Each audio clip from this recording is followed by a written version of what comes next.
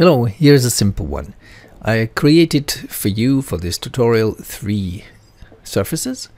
This is basically a slightly deformed polygon uh, disk. Uh, this is a slightly deformed polygon plane. And this is a straightforward NURBS plane. And um, I wanted to uh, sort out something which irritates people from time to time. When you go to modeling and generate, you here find the paint effects section. Paint effects make paintable, get brush, template brush, etc. It goes on like this, so the paint effects start here. I think they would deserve uh, a menu for their own and not under modeling. It has to do with animation as well, so I don't, I don't really know.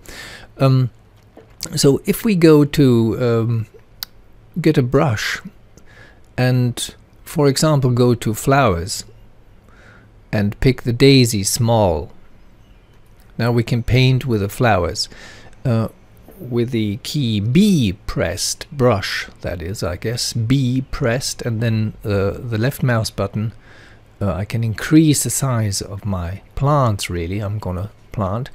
And when I'm gonna plant here now it doesn't plant the flowers on that surface but on the ground.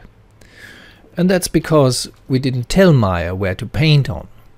So um, in uh, one of the of the comments in one of my uh, paint effects tutorials was I selected the geometry and then I went to paint effects tool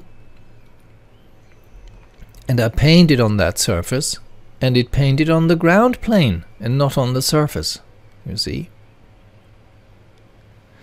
Why that is? Very simple. You need to make the surfaces paintable. So um, it's like preparing a canvas for for an oil painting.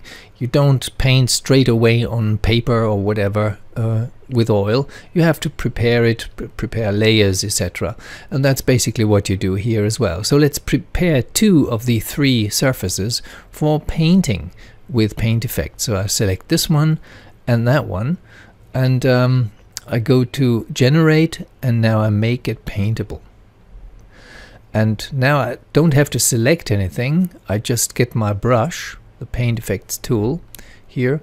And now the flowers are being painted on the surfaces, but not on that one. Doesn't want to paint here because it was not defined as paintable. Uh, sometimes they do penetrate the surface a little bit, but you can see that we actually did paint on the surfaces by just raising the surfaces and you see that uh, it's all intact. By the way, if you render this with Arnold, introduce a Skydome light and render, this is what you see. you need to convert the very nice flowers